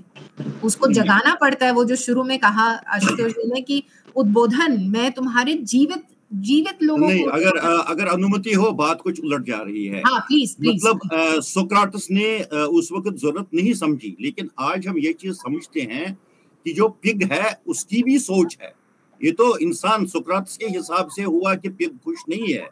लेकिन पिग के हिसाब से तो वो खुश है। ये ये चीज़ जो है ये एक बहुत बड़ी परेशानी है जब हम जी आ, मुझे लगता है कि मुझे थोड़ा सा मैं, मैं दो मिनट लूँगा मैं अशोक जी खाली दो मिनट लूँगा मैं जी जी जी ज़्यादा नहीं लूँगा। जी जी। क्योंकि जो आपने बात कही है कि असल में मैं जो इस वक्त यहाँ पर खड़ा हूँ इसमें मेरा कुछ भी नहीं है। ज्ञान अगर है तो अगर हम मल सोचते हैं, अगर हम बाकी सारी कोश सोचते हैं, जितना भी सोचें तो वो शंकर के माया के दूसरे नाम हुए, कोई फ़र्क नहीं पड़ा। अगर अगर कोई भी मल मेरे को, मेरे शिवत्व को छुपा देता है, बंद करता है, दूर कर देता है तो वो माया ही हुई, कोई फ़र्क नहीं पड़ा, सिर्फ़ हमें नाम बदल दिया। लेकिन अगर हम ये ट्रूली स्वतंत्र समझ लें, तत्व से अगर हम इसको समझ लें तो न मल है न मैं हूँ न देह है न अज्ञान है। ये चीज़ मैं कह रहा हूँ ये वाली बात एक्सप्लेन नहीं हो रही है। जी जी जी। ओके। मुझे लगता है कि अगर इस इसका एक पक्ष और आ, मुझे लगता है हमें ध्यान में लेना चाहिए डॉक्टर साहब की बात को आगे बढ़ाते हुए। और बाकी लोगों से भी मेरा निवेदन रहेगा कि अगर उनके कोई प्रश्न है टिप्पणियाँ हैं तो वो हमारे साथ साझा करें।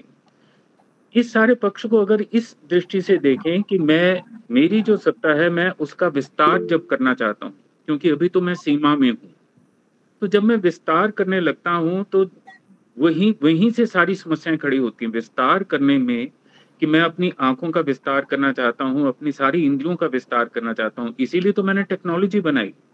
लेकिन टेक्नोलॉजी से भी एक सीमा बन गई। तो मैं उससे भी आगे जब जाने का प्रयास करता हूँ तो वहाँ पे वो बंधन वो मल वो सारे आते हैं और जिस क्षण मैं उसका उत्क्रमण कर जाता हूँ तो मुझे लगता है वो शिवत्व को मैं उपलब्ध कर लेता हूँ। तो वो कोई वो मेरा स्वभाव है कि मैं अपना विस्तार करना चाहता हूँ। तो इस विस्तार के पक्ष से अगर इस प्रश्न को आपके प्रश्न को देखूँ तो बहुत मूल्यवान प्रश्न है तो उसके लिए आपको साधुवाद है। निश्चित रूप से हम उसको लेंगे। हमारे साथ डॉक्टर वीरेंद्र जी हेड संस्कृत विभाग पटियाला से भी जुड़ गए हैं। बहुत अच्छी बात है। प्रोफेसर बीना अग्रवाल जी भी हैं। डॉक्टर अजय भारद्वाज जी। जी किसी और का कोई प्रश्न है कोई टिप्पणी है तो प्लीज़ हमारे साथ साझा करें। और फिर उसके बाद प्रोफेसर विशाल जी जो हैं वो धन्यवाद ज्ञापन करेंगे। आ, हमारे साथ प्रश्न आया है सोलफुल मैं नाम नहीं जानता। तो कृपया अपना प्रश्न अगर आप स्वयं ही पढ़ दें तो ज़्यादा अच्छा अपना परिचय देते हुए।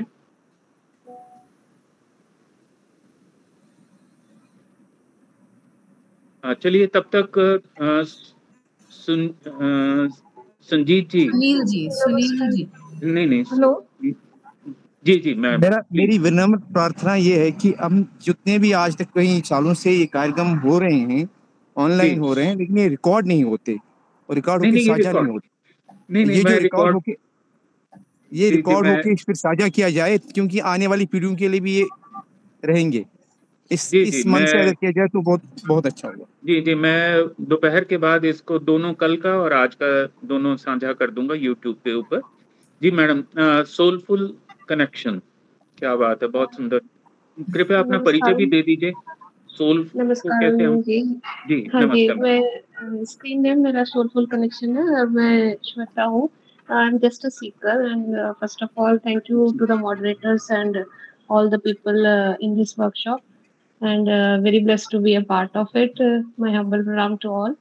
And uh, my question is, uh, uh, I have started uh, just uh, reading about Kashmir Saivism.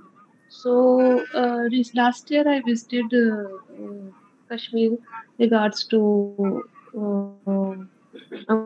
uh, Amarnath Yatra and I been to the Ishwar ashram uh, where I found that uh, there are a lot of uh, Bhairav Upasakas are there. So it was the first time to know about all these things. So I just want to know that what is the connection between the uh, land of Kashmir to um, the Lord Bhairav. There's a lot of influence. What is the connection of, uh, between Lord, the Lord Bhairav and the Kashmir? आपका प्रश्न है कि किसका भैरव का और हाँ, और कश्मीर कश्मीर और भैरव का क्या कनेक्शन है आपस में कश्मीर और भैरव का अच्छा ये ये प्रश्न में uh, I would like to rather uh, somebody who's more familiar with this, uh, the spirit of Kashmir Shaivism and Bhairav. Uh, I would rather pass on to the question to the person because uh, I'm not a competent person on this. लेकिन भैरव जो है, वो शिव का ही एक प्रकार भेद है। और भैरव उद्यम जब आप सूत्र पढ़ते हैं तो भैरव कोई इस तरह का देवता जिस, जैसा आप देखते हैं, उस रूप में नहीं, बल्कि उद्यम के रूप में वो है।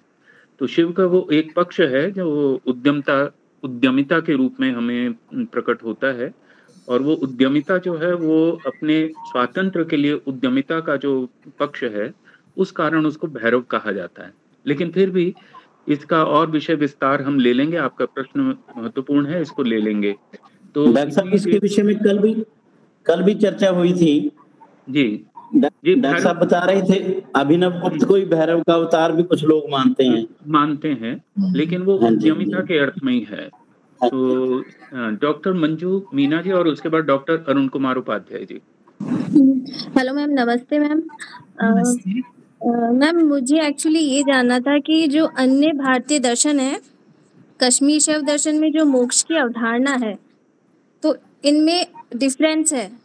क्यों? मुझे ऐसा लगता है मैं पूरा नहीं जानती हूँ पर मुझे ऐसा लगता है कि जो कश्मीर शैव दर्शन है वो एक आनंदवाद की बात करता है मोक्ष में भी। हम्म, हम्म, और हम्म। अन्य जो भारतीय दर्शन है वो एकदम से मतलब मोक्ष वो अवस्था है जहाँ नल रहते हैं एकदम। तो मैं आपसे इसके बारे में जानना चाहती हूँ मैम।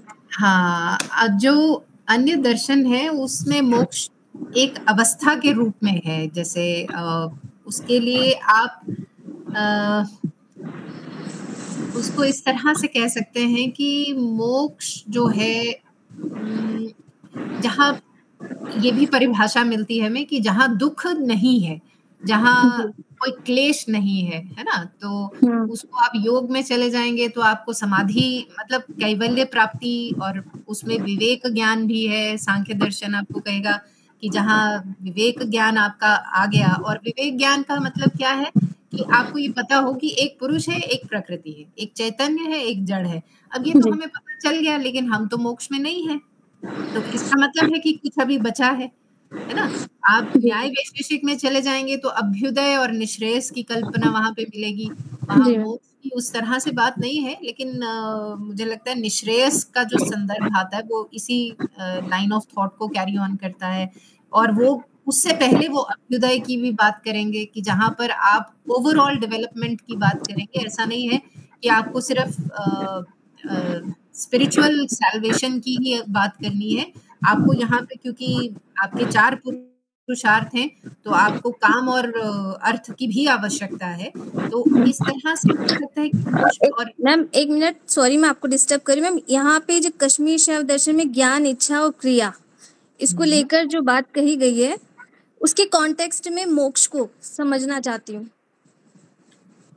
ज्ञान क्रिया और इच्छा तो देखिए हमारे फेजेस हैं हमारे एस्पेक्ट्स हैं इन ऑर्डर टू मैम एक मिनट जैसे मैं ये बोलती हूँ कि कश्मीर शव दर्शन में क्या होता है कि हम जब मोक्ष प्राप्त करना चाहते हैं तो उसमें हम इच्छाओं का इच्छाओं के अंत की बात नहीं करते तो यहाँ पे मोक्ष की उस तरह से शब्द इस्तेमाल नहीं होता समावेश यूज़ किया जाता है। Okay okay ma'am. हाँ, पर तो मैम मैं ये बोल रही थी कि यहाँ कश्मीर शैव दर्शन में इच्छाओं के अंत की बात नहीं कही जाती है। मतलब इच्छाओं को साथ लेकर शायद ऐसा? आ, हाँ नहीं ठीक है इच्छाओं को साथ लेकर मतलब वो ये नहीं कह रहे हैं कि अगर आप में चोरी करने की इच्छा तो उसको भी साथ लेकर चलिए। नहीं मैम समावेश नहीं है।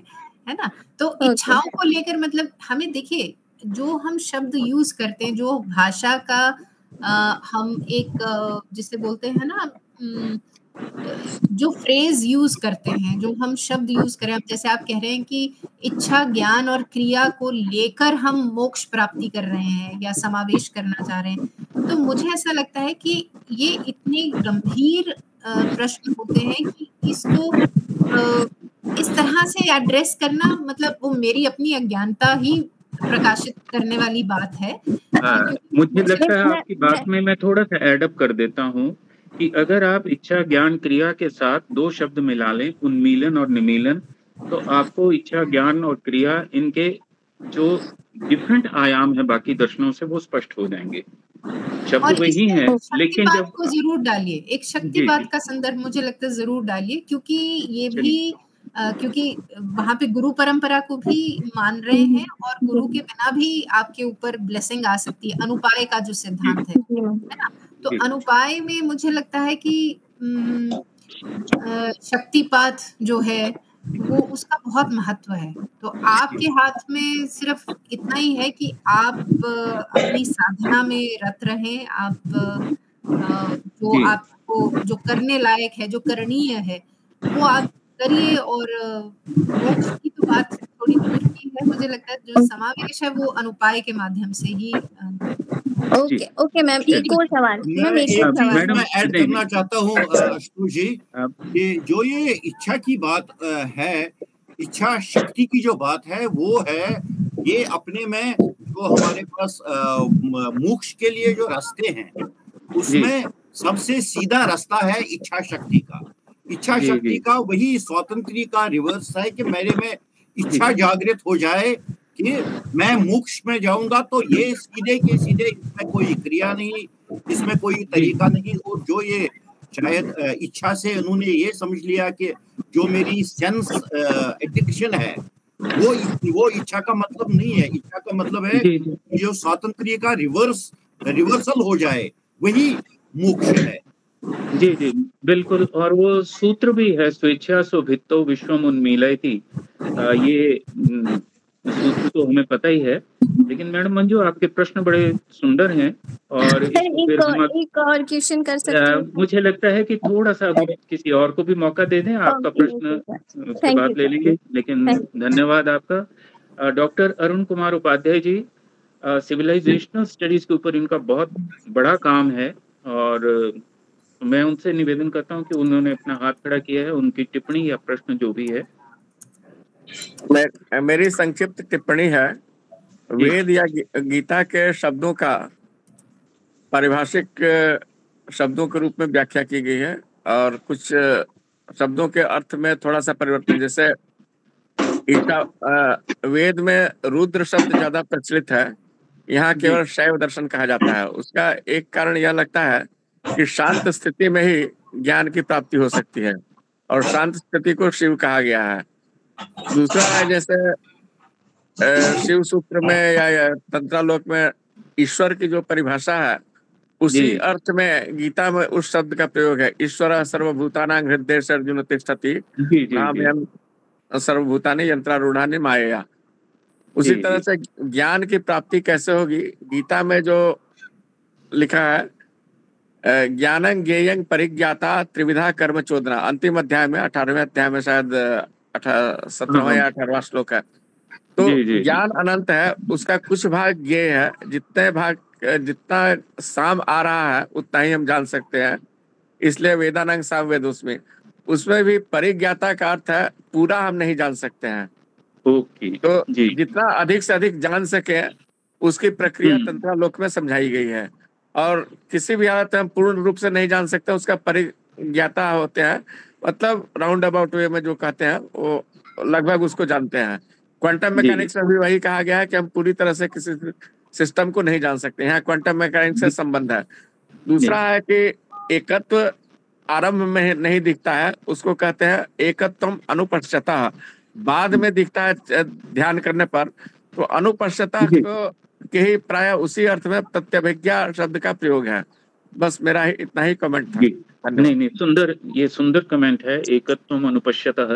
ये प्रतिभिज्ञा के साथ आपने एक नई डायमेंशन और जोड़ी है उसके लिए धन्यवाद। और एक अंतिम टिप्पणी प्रश्न डॉक्टर सरोजनी पंडिता जी मैडम अपने को अनम्यूट कर लीजिए।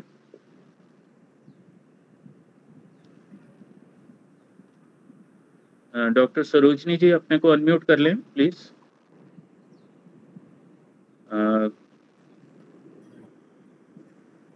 चलिए वो नहीं हो पा रहा। किसी और का कोई प्रश्न या किसी और की कोई टिप्पणी? किसी का कोई और प्रश्न है? क्योंकि हम फिर इसको पूर्णता की ओर अग्रसर करते हैं सही सही हाँ, नमस्ते Uh, namaste, sir. Sir, I am Dr. Rajshri Vasudevan. oh, um, namaskar, madam. Yes. Ha, my that is the name of my uh, organization is called Spanda Abhinava Holistic Initiative. सो उसका नाम है ये हाँ sir I just want to add actually there was some question about this इच्छाओं वो हम मोक्ष तक लेके जाते हैं कि क्या करके my feel is that what Abhinav is trying to say because he was also an artist he was a practitioner of art that instead of suppression of the desire is it is worked out channelized through the artistic medium. So it doesn't get suppressed but it is in a sense taken along in a channelized manner so that we re- realize Shiva and Shakti as the creative, artistic, mm-hmm. and uh, principle which is governing the world. So that's just what I wanted to add. My mm-hmm. understanding mm-hmm. is that because my work is on the Natyashastra, and Abhinava Bharati, mm-hmm. mm-hmm. and I have हाँ I've realized that that is what is meant when we say that इच्छाओं लेके जाते हैं। ऐसे ही नहीं लेके जाते हैं बट चैनलाइज्ड फॉर्म में लेके जाते हैं सौंदर्य शास्त्र से लेके जाते हैं। जी जी तो, बिल्कुल बिल्कुल। हाँ, बहुत सुंदर आपने इसमें एक डायमेंशन एडअप की है वाकई।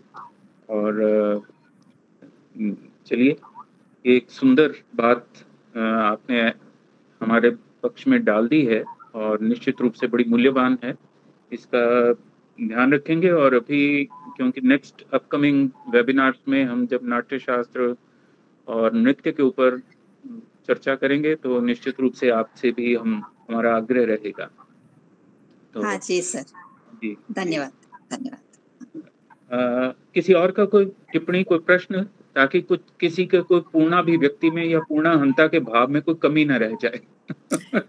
तो उसके बाद मैं धन्यवाद ज्ञापन करता हूँ। मैंने एक रिक्वेस्ट करनी थी कि मैंने वो मंत्र के लिए रिक्वेस्ट की थी हाँ, हाँ, हाँ। शर्मा जी से। अगर आप वो इनको सुनील रैना जी को भेज सकें या भेज देंगे सर भेज देंगे। उनको भेज दीजिए मेरे पास पहुँच जाएगा। बिल्कुल भेज देंगे। जी धन्यवाद। जी चलिए। तो आज के पूर्णाहंता के भाव की ओर अग्रसर होने में चाहे कितना ही हम हो पाए हो चार कदम दो कदम तीन कदम एक अग्रसरता का भाव और दूसरा व्यापकता का भाव। तो अभिनव गुप्त से मुझे तो लगता है कि आज हमने ये दो बातें सीखी हैं कि हमारी दृष्टि जो आप जैसे कि ये इस स्लाइड में देख सकते हैं कि जब ये हम एवं में अज्ञातम ये एवं जो है ये बड़ा महत्वपूर्ण शब्द है। क्योंकि हमने किसी एक खास एंगल से खास दृष्टिकोण से ही चीज़ों को सुना होता है और खास दृष्टि से ही देखा होता है। हम 30, 35, 45 डिग्री तक देख सकते हैं उतना ही हम सुन पाते हैं। तो इसके बीच में हमारा जो ज्ञान है, वो सीमित ज्ञान होता है, जिसको आप आवरण शक्ति कह देते हैं, जिसमें कि काल, राग, कला, नियति आदि आदि कह देते हैं। तो उसका आज हमने विस्तार किया है अभिनव गुप्त की कृपा से, और अग्रसर भी हुए हैं हम, दोनों ही बातें हुई हैं। तो हमारा दृष्टिकोण अगर आज 45 से 60 डिग्री या 70 डिग्री या 90 डिग्री तक भी गया है तो मुझे लगता है कि ये एक बहुत बड़ी उपलब्धि आज हमारे लिए रही है। और ये प्रयास करना ही हमारा उनके प्रति श्रद्धा, सुमन अर्पित करने जैसा है, आचार्य अभिनव गुप्त के प्रति। तो आप सबके सहयोग से आज हमने इस आनंद का अनुभव किया है कि अभिनव गुप्त की अभिनवता को हम पहचाने और उनकी अभिनवता आनंद में ही है, आनंद का अनुभव करने में ही है। तो उसमें आप सबने सहयोग दिया है और विशेष रूप से आज की मुख्य वक्ता प्रोफेसर डॉक्टर शिवानी शर्मा जी आ, उन्होंने जिस तरह से विषय को स्कॉलरली प्रतिपादित किया है तर्क संगत रूप से किया है और हमारे प्रतिभागियों ने जिस तरह से उसमें प्रश्न किए हैं और टिप्पणियाँ की हैं उसमें संवाद को अग्रसर किया है उसके लिए वो अत्यंत साधुवाद के पात्र हैं धन्यवाद के पात्र हैं और हम उनके प्रति आभार व्यक्त करते हैं। Department of Sanskrit Guru Nanak Dev university Amritsar की ओर से। निश्चित रूप से हम बहुत जल्दी ही दोबारा फिर मिलेंगे। इससे पूर्व कि हम आज का ये कार्यक्रम यहीं पूर्ण करें आ, मैं आपको सूचना देना चाहता हूँ दो सूचनाएँ। एक तो कल आ, हमारा एक और वेबिनार है लेकिन उसका लिंक मैंने शेयर कर दिया है क्योंकि उसका लिंक थोड़ा डिफरेंट है। वो लिंक है जो है वो कुरुक्षेत्र यूनिवर्सिटी के साथ मिलकर के है गुड गवर्नेंस के ऊपर है। कृपया अगर आप की रुचि है इंडियन नॉलेज सिस्टम्स में तो उसको आप ज्वाइन करिए। समय यही रहेगा साढ़े दस, लेकिन लिंक थोड़ा डिफरेंट है। और उसके बाद 22 तारीख को एक बड़ा ही रुचिकर विषय है आप सभी के लिए। वो है संस्कृत शास्त्रीय critique of Darwin Freud and Marx बड़ा चैलेंजिंग टॉपिक है वो तो उसको आप हमारे साथ ज्वाइन करते हैं और निकट भविष्य में आप साइंसेस और सोशल साइंसेज के ऊपर जो कुछ चर्चाएँ होंगी, उसमें आप हमारे साथ जुड़ें। और अगर संभव हो तो हमारा जो व्हाट्सएप ग्रुप है, उसको आप ज्वाइन कर सकते हैं। मैं अपना नंबर इसमें चैट बॉक्स में शेयर कर देता हूँ। उसको आप नोट कर लीजिए और मेरे साथ आप जुड़ सकते हैं। और नंबर दो Guru Nanak Dev university department of Sanskrit के द्वारा सर्टिफिकेट्स के लिए एक लिंक शेयर किया गया है आपके चैट बॉक्स में। उसको आप भर सकते हैं और उसके बाद आप आज की मीटिंग को यहीं पर आप छोड़ सकते हैं। तो धन्यवाद बहुत बहुत आभार। मैं दोबारा एक बार लिंक शेयर कर देता हूँ कल का भी और सर्टिफिकेट्स का भी। और अपना नंबर भी मैं शेयर कर देता हूँ। और आ, बाकी मैडम जो एस्थेटिक्स है स्पंद स्कूल से कृपया एक बार मुझे अपना आ, नाम और नंबर ज़रूर भेज दीजिएगा। कहीं मुझसे मिसप्लेस हो गया था या मेरे ध्यान में नहीं है। ताकि मैं आपसे संपर्क कर सकूँ।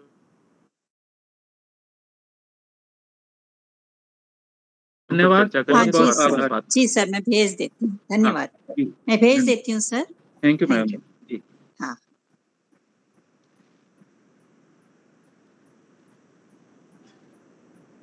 मैं दोनों लिंक शेयर कर रहा हूँ आप लोगों के साथ।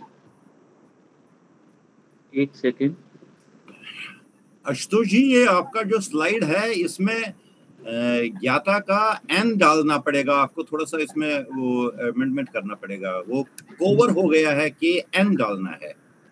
ओके। जी जी जी जी मैं कर देता हूँ सर। उसको हाँ, वो थोड़ा सा इसमें कर एक मिनट में ये फॉर्म शेयर कर दूँ आप लोगों के साथ और फिर उसके बाद आप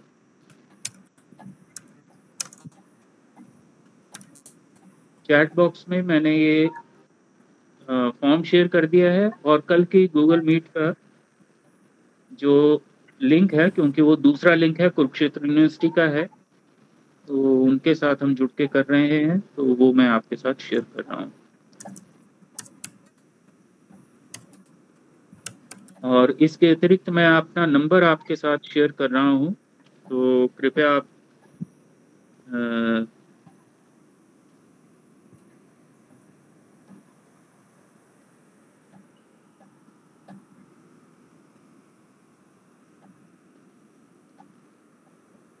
तो जो लोग भी जिनको लगता है कि हमारा प्रयास युक्ति संगत है, उचित है तो उसमें सहयोग कर सकते हैं। तो आप कृपया हमारे साथ जुड़े व्हाट्सएप ग्रुप में और अलग अलग विषयों को, क्योंकि हमारी कोशिश ये है कि किसी तरह से ये जो सोशल साइंसेज हैं, इनको हम डीकोलोनाइज करें और साथ ही जो है, हम अपना जो अल्टरनेटिव मॉडल्स हैं थ्योरीज हैं, उनको हम प्रतिपादित करें। तो ये सारे के सारे प्रयास उसी संदर्भ में हम लोग कर रहे हैं। तो धन्यवाद बहुत बहुत आभार डॉक्टर भट्ट बहुत सुखद आपसे चर्चा रही है बहुत सुंदर लगा। तो मैं चाहूँगा कि आप हमारे साथ निरंतर जुड़े जुड़े रहें। तो ये मेरा आपसे आग्रह है आप मेरे आग्रह को स्वीकार करें। तो धन्यवाद doctor Shivani ji. Thank you so much thank you everyone thank you so much ji.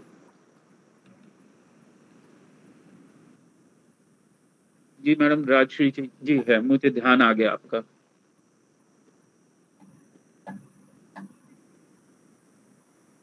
आप लोग मीटिंग छोड़ सकते हैं। Thank you everyone thank you so much